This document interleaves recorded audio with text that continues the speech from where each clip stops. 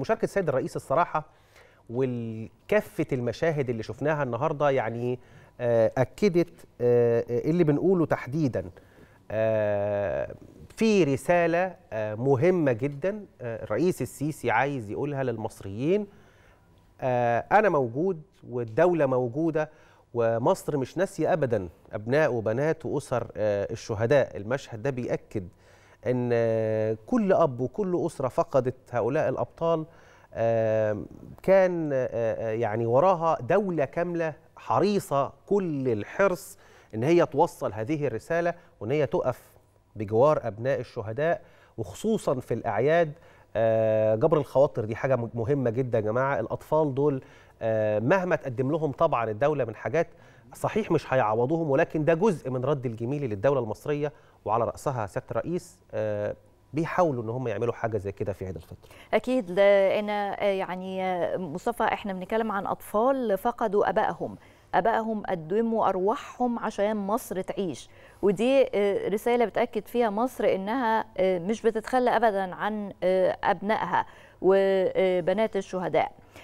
طبعا لقطة مهمة جدا شاهدناها في الاحتفالية وهي تكريم أبطال مسلسل الاختيار. وعائدون والرئيس كان ليه كلمة وإن كانت مقتضبة لكنها صحيح. مباشرة وواضحة أنه العمل الدرامي ليه أهميته أنه يوثق التاريخ وما قدم في مسلسل الاختيار الرئيس أكد أنه هو الحقيقة وكمان كانت موثقة بوثائق شفناها على مدار حلقات المسلسل وكانت مهمة عشان الأجيال الجديدة تعرف حقيقة ما حدث وما نسيبش فرصة لأي مخلوق إنه يشوه التاريخ أو يقدم أي شيء كاذب عن الفترة دي من تاريخ مصر. أنا بقى يعني برضو بقتبس منك الجملة اللي قالها سيادة الرئيس وهو الحديث النبوي إن المرأة لا يعني يصدق حتى يكتب عند الله صديقا وإن المرأة لا يكذب حتى يكتب عند الله كذابة. وقسم سيد الرئيس لما قال والله والله والله إن هذا ما حدث وده الحقيقة وده كمان مش الحقيقة بس ده جزء صغير جدا من الحقيقة اللي المصريين كلهم آآ آآ عصروها أو ما يعرفوش عنها يعني حاجات. قال حتى لما اتكلم عن الأجهزة آآ وقال إن الحاجات اللي حصلت دي كانت لقطات صغيرة جدا من اللي حصلت كان فيه وراها جهد كبير ولسه هذا الجهد ما زال بيحدث على الأرض.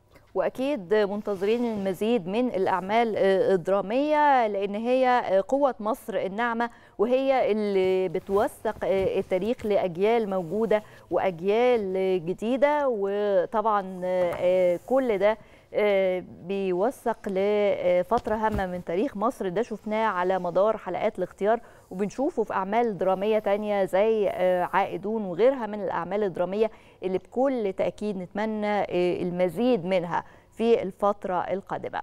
بنصبح على حضراتكم صباح الخير يا مصر.